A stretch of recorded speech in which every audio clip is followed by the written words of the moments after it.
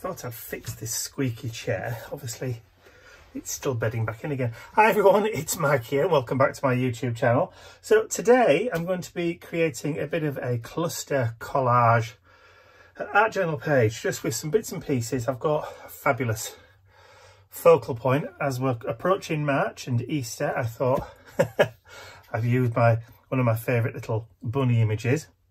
I've also got a, a collection of bits of uh, ephemera which I've printed out um, ready to do a kind of cluster um, in the background with the bunny. I've got a stencil which is the new dot gain stencil. I've got some tea dyeing and I've got some uh, what these quote stickers from Ranger Tim Holtz I think these are. Um, yeah they've been taken off the book that they came from so I don't know what they what they're called or which ones they are so um, but there's one of the quotes in here which I think is going to be quite nice to put with the page. So I've got everything I need. So the first thing that I want to do is obviously build up my background. So I've got this piece of uh, music paper. I don't think the music is actually real. I think it's just made up. It's a background that I found um, but it was one of these artificially artificial intelligence created images oh, nice cup of coffee, um, that I created for somebody else um, for a project we were working on. Um, and I thought this would be nice to as a bit of a background on there. Doesn't quite fit because it was meant to be as a, an 8x8 um, paper pad. So there's going to be a little bit of a border all the way around, but I don't mind that. Just making a difference really. So first things first, there's going to be no um, no real kind of difficulty in what I'm going to be doing today. So it's just going to be a question of layering and getting rid of white edges and having fun with a bit of composition. So more of a composition exercise than anything really. And a bit of fun, of course. Having a little bit of fun along the way. So I'm not sure how juicy this tea dye is. This is uh, an inherited um, ink pad from when my mum stopped doing crafting. So there we go. You can always add a little bit more grunge, and a little bit more dirt later on. So that's going to be the background. So we'll get that glued down first of all. I'm just using PVA. Um, so somebody asked me recently why I stopped using the UHU um, Spirit Glue. Well, it's because I think they've changed the formulation and the spirit, particularly when you're using images that have been um, printed on a on a laser printer like I usually do, um, it started coming through the paper. It started soaking through the paper. It never used to, but it has done now. So like on a page like this, where I've printed the background, the, the glue would come through and you'd start to feel it on the top and it, it yeah, just not good. If it was a purchased piece of backing paper, um, then it, it probably would be okay. It just seems to be on paper, or the paper that I've got, or the cardstock I've got, um, but yeah, it is still close to hand. It is still, so I do still use it, just not on papers that I've printed myself. Right, okay, so now we've got that done. Um, so what's next? So we'll start adding in a little bit of background detail. So I'm going to use this dot gain stencil and I'm just going to go up and down. So I'll line it up with the top of the paper. And we'll just add some cute little circles in the background. And we'll do some of those up this side as well.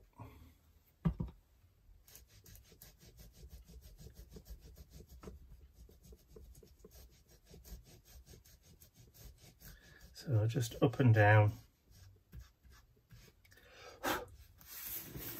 like that.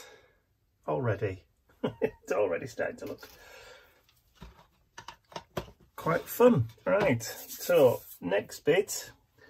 So I want to add this calendar piece. That tea dye is going to have to be front and centre because I'm going to grunge every bit up, I think. I sort of have an idea of where I want to put things today, but always subject to change because when you do start laying things down, you think to yourself, actually, it would look better if. Um, let's have a look at this matchbox front. That's what this is. It's a matchbox front.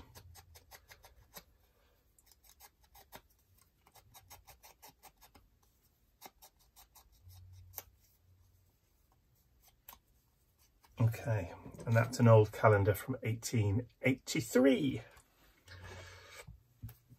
So a couple of years old. Right, so what I'm going to do is just put a little bit of glue in that corner and then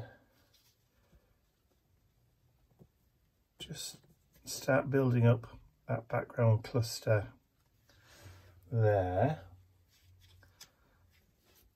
try and keep it straightish. So the aim is to try and create a kind of diagonal effect across the page with the bits of ephemera with my main focal point kind of in the middle but just slightly offset to the left. Okay, so I've got that and then let's have a look at lithographers. Lovely. That'll do. So Using the Distress ink gets rid of those raw white edges as well. Just tidies things up. I always think it just kind of finishes, you know, the, your project a little bit. So we'll go follow the line um, of the text. So down that one side, down across the top, which means we'll put the glue there and there in like an L shape. So that will then fit about there.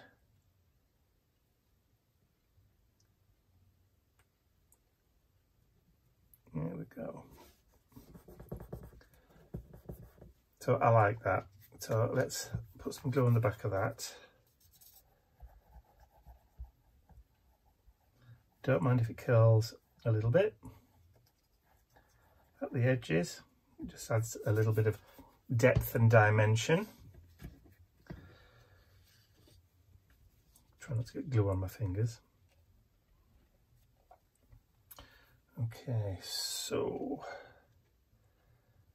let's put that around about there, I think.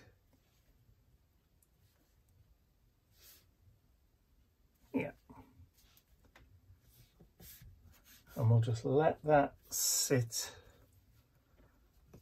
for a little while just until it grabs and then it won't move. And then we'll start looking at the second cluster. So we've got this, spring and summer, rich silks, rich dress goods, morning goods. That's an advert from 1884, just the year after that. It's a very vintage page, this, isn't it? So I'm going to start building the cluster up for this side. And then we'll lay that down and start auditioning pieces before we stick our dapper bunny down. Okay, so I think the postcard, I want that to come in this way.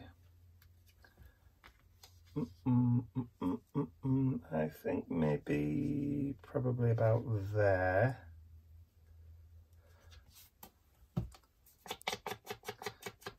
So, so while you're doing a composition, if you've got a kind of an idea, sometimes it's a good idea to to get a piece of scrap paper and then just draw out a kind of rough sketch plan of how you want your um, I've got a piece of scrap paper how you want your composition to be. So for example so if I just draw a square like so and then I want my main focal image to be there you can kind of plan how you want your your collage to to be. So I want a kind of diagonal shape. So most of this side I want to be free. So all of my collage elements want to be like that. So coming down that way vertically that way and on this side I want them to be horizontal. And then your focal point can sit in the middle. And then you've got a little bit of white space that, that can go just a bit over and try and work out that way. Remember that kind of rule of thirds. If you draw like a tic-tac-toe or a noughts and crosses grid, as we call it, and think about that placement. So what I'm doing is my main focal is going to be along here. My ephemera is then going to follow that pattern like that. So we're crossing. So we're kind of following that axis for that composition. Yeah, hope that makes sense. Anyway, right, so let's have a look. Um, yeah, I think probably bring that down to about there. So just in that corner there. So let's just put a little bit of glue. Doop, doop. Just in that corner. And then, yeah, I reckon that's good. So that's going to be about there. And then we have a few other little bits so that's following that line across. This is an old bus ticket from Edinburgh. Caledonian trains. Blairgowrie, or Gowrie, Blairgowrie to Edinburgh.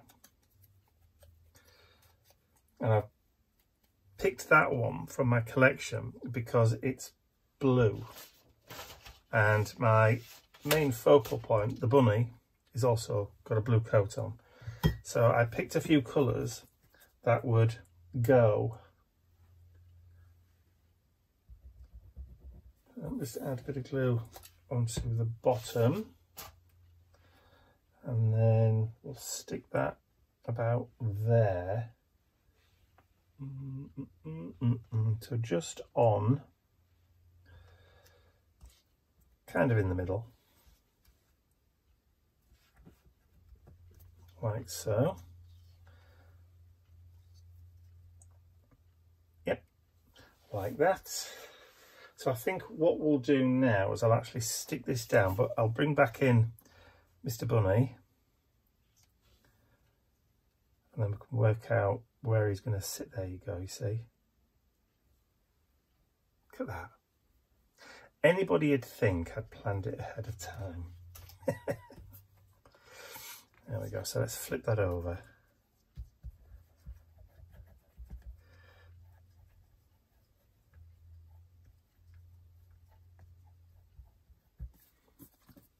All right.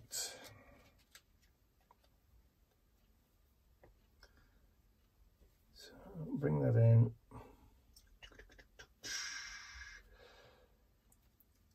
so before that grabs too much, let's just bring Mr. Bunny back in. And then we can see whether that's... Let's just bring that down a tad. Okay, happy with that. Just straighten that up. Okay, and then we can just add in a stamp, I think. Penny black.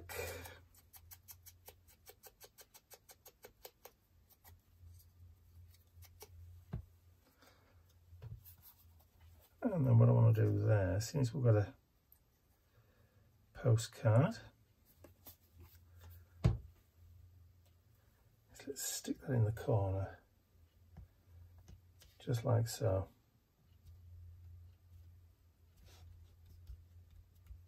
Lovely. Okay, so now time to get the bunny stuck down. So I'm just going to go around the outside edges, just gently. I don't want to rip him. Just catching the edges with the foam. Just to hide that raw white edge. I'm not coming too into the actual image itself. I'm just trying to catch the edges. If you've got a distress um, pen, that will work too, or any kind of brown felt tip, or even a grey felt tip, a grey alcohol marker. That should work as well.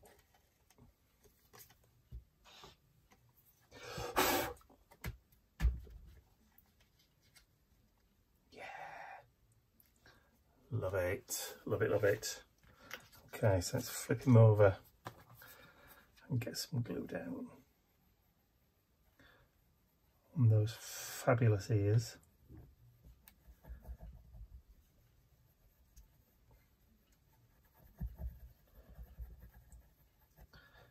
Collages like this are just so fun. I mean, you could go as whimsical as you wanted to. You could add in butterfly wings or whatever, but I'm not doing that because I just want him to have kind of like pride of place because he's so a handsome bunny, isn't he? He certainly is. Okay, so the last two bits then. So these two little pieces are from my um, random words and numbers so just trying to, so that's the random words and numbers that these sheets, um, so there's two sheets in these, uh, all different kind of random words, numbers, um, dates, just all different colours, that kind of stuff. So something for every occasion really, particularly when you're doing fabulous little collages like this and you just want a little bit of text that doesn't actually mean anything.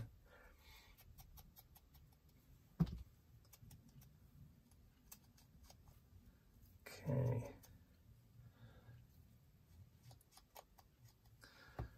So that one. There we go. So add a little bit of glue there.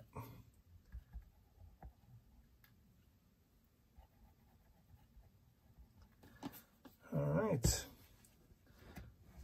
think this is going to be one of those rare occasions where I do everything, the whole project in one take without having to stop the camera for anything. So let's bring that across there. So this is why I waited till the end because I wanted some of it just to break into the foreground like so. And then the last piece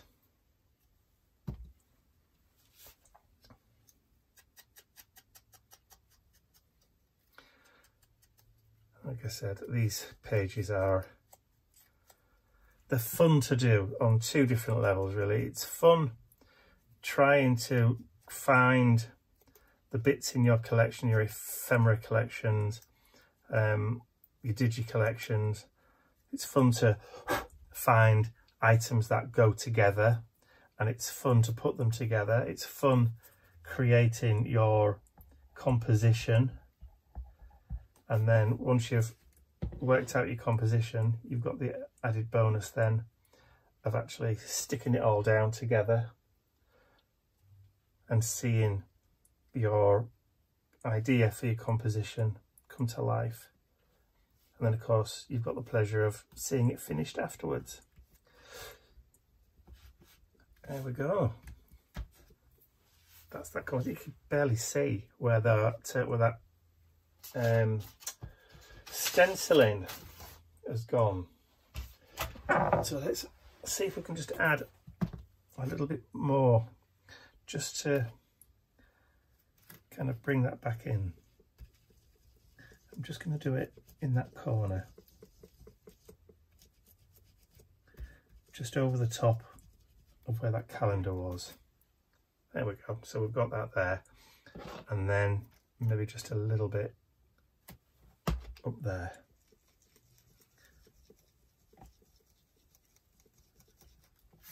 There we go. So that creates that kind of visual triangle then around the page. All right, so the last thing that we want to do then is to add in the quote. So we've got this really, really long one that goes right the way across. So I'm going to cut it into two.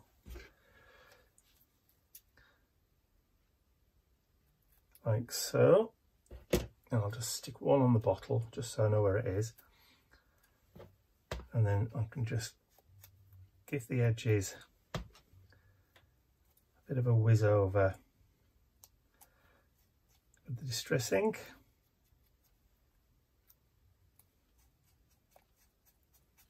Just to kind of blend it in a little.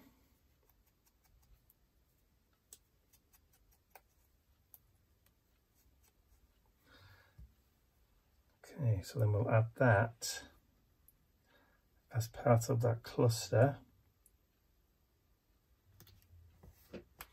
those who don't believe in magic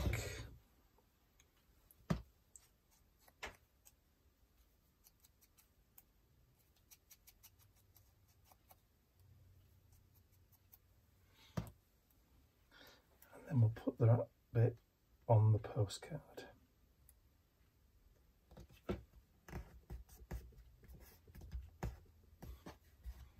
There we go. I like it. I like it a lot. I think I'm done. I'm happy with that page. So that was fun to collect. Oh, I was going to put some washi tape down, wasn't I? No, we're not quite done then. Right. So yes, just a little bit of washi tape. And that's really, or predominantly, just to kind of ground our little bunny down there. So just to kind of finish that off.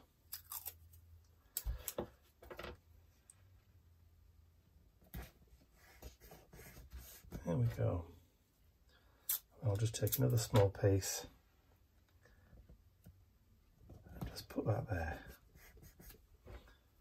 And one more small piece and that can go there.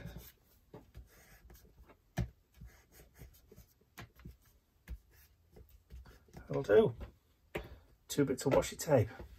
All done and dusted. So I'm really happy with that. I hope you've enjoyed watching me create this all in one take without any stops. Um, if you have, please remember to give the video a thumbs up, share the video with your friends, and if you haven't subscribed to my YouTube channel already, you can do so by clicking the button at the end of the video. That's all from me for now. I'll see you all again very, very soon. Bye for now.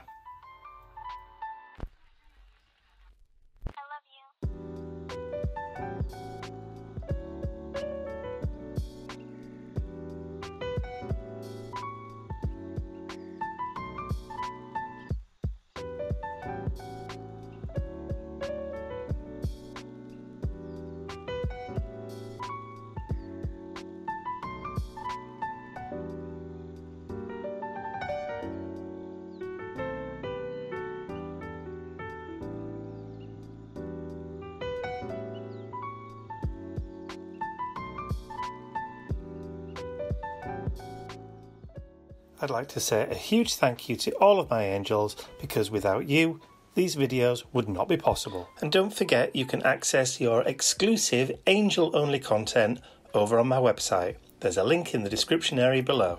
Thank you.